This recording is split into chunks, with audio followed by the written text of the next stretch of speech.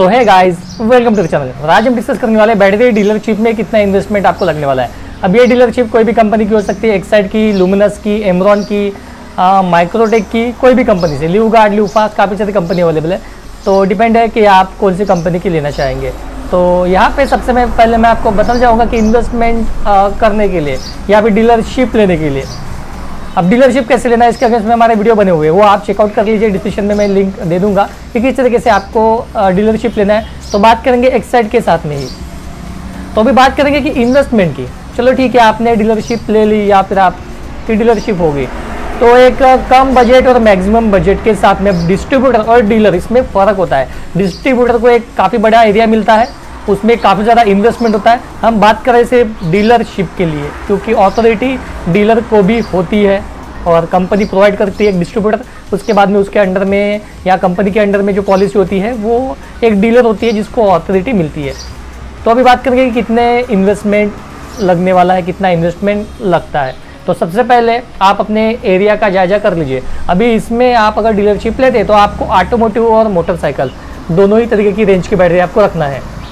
अब मोटरसाइकिल में जो टू व्हीलर की बैटरी होगी, अब आप पीछे देख रहे होंगे, ये टू व्हीलर की बैटरी है तो ये बैटरी आपको रखना ज़रूरी है। अब एरिया देख लीजिए, आपका बजट देख लीजिए, कितना आपको रखना है, क्योंकि बजट पे भी डिपेंड है कि कितना बजट आप लगाएँगे, कितना बजट आपके पास में है। एक शॉप से लेके आपका खुद का है, रेंट का है, सारी चीज़ें आपको देखना है इन्वेस्टमेंट देखना है। तो मोटरसाइकिल बैटरी आपको रखना है तो कितना आप रख सकते हैं? अभी कोई कोई एक एक पीस रख सकता है। कम बजट होगा तो दो दो पीस रखता, रख सकता है। या फिर आपका एरिया ऐसा होगा जहाँ पे मैकेनिक्स वगैरह काफ़ी ज़्यादा आपके आजू बाजू में है और डेली की आपकी मैक्सिमम बैटरी जाती है तो आपको मैक्सिमम बैटरी रखनी होगी। पाँच या फिर दस, हर एक वेराइटी की। Two point five four A H five A H seven nine A H fourteen A H इस तरीके से ये रेंजेस की बैटरी कैपेसिटी की बैटरी मोटरसाइकिल में आती है। उसके बाद में ऑटोमोटिव में ऑटोमोटिव में कार रेंजेस की बैटरीज है अब कार रेंजेस में पैंतीस, चालीस पैंसठ इस तरीके की रेंजेस है। उसके बाद में ट्रक ट्रैक्टर हेवी जो व्हीकल है उसके लिए अस्सी, नब्बे, सौ वन थर्टी वन फिफ्टी इस तरीके की रेंजेस है। उसके बाद में बात करेंगे इन्वर्टर बैटरीज के। इन्वर्टर बैटरी की कॉस्टिंग ज़्यादा जाती है। मैं आपको दिखा दूँगा motorcycle automotive inverter batteries inverter सारे रेंज वीडियो इन्फॉर्मेशन होने के बाद में मैं आपको दिखा दूँगा कौन से कौन सी बैटरीज कौन से कौन से रेंजेस आपको रखना है। मतलब कैसे कैसे है वो रेंजेस जो आपको रखना है, उसके बारे में हम आपको दिखा देंगे। तो यहाँ पे आपको मोटरसाइकिल और कार की रेंजेस जो ऑटोमोटिव की रेंजेस को बोलेंगे, ये आपको रखना कंपलसरी है, उसी से आपका बिज़नेस चलने वाला है। अब उसके बाद में इन्वर्टर में आपका बजट ज़्यादा जाने वाला है। जैसे इन्वर्टर की बैटरी है उसकी कॉस्टिंग ज़्यादा होती है क्योंकि एक बैटरी इन्वर्टर की आपकी दस हज़ार की आएँगी बारह हज़ार की पंद्रह हज़ार की आएँगी। तो आप पाँच बैटरी रखते हैं तो ये साठ सत्तर हज़ार की हो जाएँगी। दस हज़ार रुपये के हिसाब से अगर आप चलते हैं तो वो आपकी पाँच बैटरी पचास हज़ार की होगी। इन्वर्टर की बात करेंगे तो तीन चार पाँच हज़ार से इन्वर्टर शुरू होते हैं जो 600, 700, 800 वी कैपेसिटी के जो इन्वर्टर होते हैं। तो उसकी कॉस्टिंग भी लगभग एक हज़ार एक लाख के करीब आपका इन्वर्टर रेंज का माल ही हो जाएगा। सो so, वो आप ऑन द जैसे कस्टमर को रिक्वायरमेंट उस हिसाब से बुला सकते हैं। या फिर कंपनी के जो डिस्ट्रीब्यूटर होंगे वो आपको अगर मटेरियल देते हैं कुछ साइड पे तो आप रख सकते हैं। अदरवाइज़ वो स्किप कीजिए जो इन्वर्टर की बैटरीज है आप उसको बाद में भी ले सकते हैं। तो इस तरीके से मोटरसाइकिल ऑटोमोटिव इन्वर्टर बैटरी की रेंज और इन्वर्टर आपको रखना काफ़ी ज़रूरी है। आ, ये आपका बजट होने वाला तो बजट आप पे डिपेंड है कि आपका इन्वेस्टमेंट कितना है। अभी आप इन्वेस्टमेंट एक लाख के साथ भी शुरू कर सकते हैं, दो लाख के साथ भी शुरू कर सकते हैं, तीन लाख के साथ भी पाँच लाख के साथ भी। अगर एक अच्छा सेटअप आप चाहते हैं तो चार से पाँच लाख का बजट आपका लगने वाला है, या फिर तीन लाख से भी शुरू हो सकता है। ये आपका सारा एडजस्टमेंट है, आप किस तरीके से बैटरी रखते हैं, किस तरीके से आपका लोकेशन है, किस तरीके से आप सेल करते हैं तो सारी बातें डिपेंड है आपके एरिया पे, आपके काम करने के तरीके पे। अगर आपको एक कम बजट के साथ में बिज़नेस शुरू करना है तो कम कम स्टॉक रखिए और मैक्सिमम अगर आपका बजट अच्छा है तो सभी तरह की रेंजेस आपको रखना ज़रूरी है। तो मोटरसाइकिल की अगर कम रेंज की भी बात करेंगे, आप एक दो दो पीस भी आप रखते रखते हैं एक एक दो दो पीस भी रखते हैं तो ये आपका पच्चीस से तीस हज़ार का माल हो जाएगा। और ऑटोमोटिव में बात करेंगे। कार सेगमेंट में तो पैंतीस एच की मैक्सिमम चलने वाली बैटरी है तो वो आप स्टॉक में रख दीजिए तीन चार। तो आपका बीस तीस हज़ार का वो माल हो जाएगा।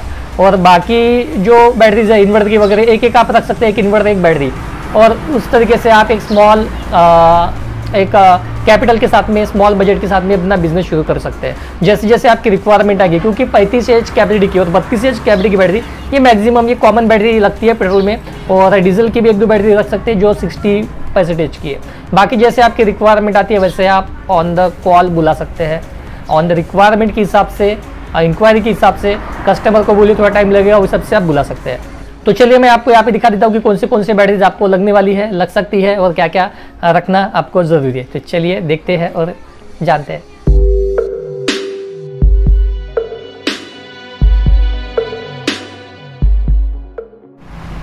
तो यहाँ पे यहाँ पे देख सकते हैं मोटरसाइकिल के काफ़ी सारे रेंजेस है मतलब हर एक रेंज है मोटरसाइकिल की। टू पॉइंट फाइव छोटी बैटरी से लेके फोर एच कैपेसिटी सभी तरह की बैटरीज यहाँ पे अवेलेबल है। हमने यहाँ पे बैटरीज रख दी है, जो 48 महीने के साथ में आती है। उसके बाद में S F sonic S F sonic की बैटरीज आप देख सकते हैं। ये है एस एफ़ ये एक साइड के ब्रांड इसकी भी कुछ बैटरीज हमने रखी है। कस्टमर मतलब एक साइड से और एसएफ में थोड़ा सौ रुपये का डिफरेंस आपको देखने को मिलेगा। ऑटोमोटिव में आप यहाँ पे देख सकते हैं ऑटोमोटिव की कुछ रेंजेस यहाँ पे है। यहाँ पे हमारी कुछ क्रैप बैटरी भी है, कुछ ऑटोमोटिव की रेंजेस है। ऑटोमोटिव की रेंजेस हमने यहाँ पे रखी है, आप देख सकते हैं ऑटोमोटिव की कुछ रेंजेस तो यहाँ पे ऑटोमोटिव की कुछ रेंजेस है, हमने रखे हैं। रिक्वायरमेंट के हिसाब से हम बुलाते हैं और बजट के हिसाब से भी सब कुछ देखना पड़ता है। और यहाँ पे इन्वर्टर की बैटरी आप देख सकते हैं।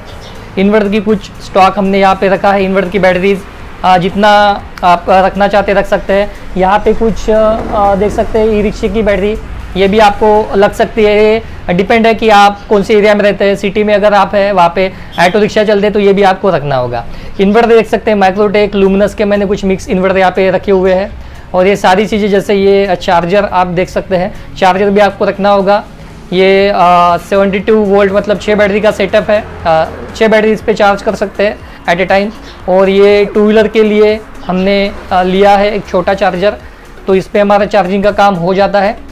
और यहाँ पे कुछ डमी हम रखते हैं। और यहाँ पे भी कुछ इन्वर्टर की बैटरी हमने रखी हुई है।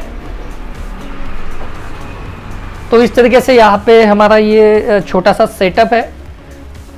पर सभी तरीके की रेंजेस हमने यहाँ पे रखी है। डिजिटल वाटर आप देख सकते हैं यहाँ पे डिजिटल वाटर यहाँ पे रखा हुआ है। तो सब कुछ आपको रखना होगा और एडजस्टमेंट करना होगा अगर आपका बजट थोड़ा कम है तो थोड़ा एडजस्ट कीजिए।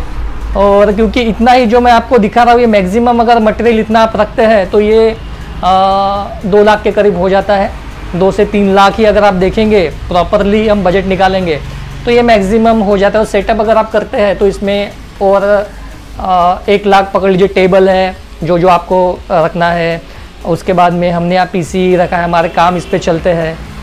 तो ये सारी चीज़ें रैक वगैरह है तो सब कुछ ये कम्प्लीटली सेटअप आपका अगर खुद का शॉप है तो आपका थोड़ा इन्वेस्टमेंट बच जाएगा, या फिर रेंट ज़्यादा जा सकता है। उसके बाद में पगड़ी देना होता है।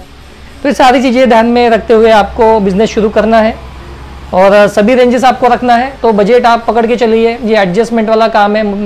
मैंने तो आपको बजट बता दिया कि मोटरसाइकिल का कितना बजट होने वाला है कम से। कार रेंजेस है। उसके बाद में कम्प्लीटली इन्वर्टर वगैरह इन्वर्टर बैटरीज ये सब आप रखते हैं। इन्वर्टर तो फिर भी एक डेढ़ लाख का मिनिमम आपका मटेरियल तो लगना ही लगना है।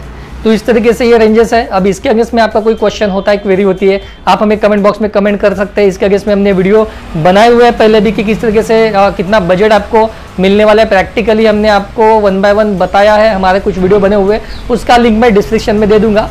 और कुछ क्वेश्चन होगा तो इंस्टाग्राम पर फॉलो कीजिए। वहाँ पर आप हमें मैसेज कीजिए। और आप हमें बात भी कर सकते हैं तो इंस्टाग्राम पे आप हमसे बात करने के लिए वहाँ पे मैसेज कीजिए फॉलो कीजिए और हमें मैसेज कीजिए, हम अपना नंबर शेयर करेंगे, फिर आप हमसे बात भी कर सकते हैं। और आपको कुछ भी चाहिए होगा मटेरियल वगैरह तो आप हमें कॉन्टैक्ट कर सकते हैं। सो मैं आपको मटेरियल प्रोवाइड भी करूँगा, अगर आप नियरेस्ट नागपुर में हैं। नागपुर के नियरेस्ट में, नागपुर में रहते हैं तो कुछ आपको रिक्वायरमेंट होगा तो आप हमसे डायरेक्टली कॉन्टैक्ट कीजिए। कमेंट कीजिए कमेंट बॉक्स में। और यहाँ पे वीडियो पसंद आया तो लाइक कर लीजिए। चैनल में नए होंगे तो सब्सक्राइब कर लीजिए ताकि आने वाली इस तरीके की वीडियो आपको हमेशा हमारे चैनल में मिलते मिलते रहेंगे। तो आज के लिए इतना ही। हँसते रहे खुश रहे मिलते हैं जैसे किसी नए वीडियो के साथ। में तो मिलते हैं अगले वीडियो में।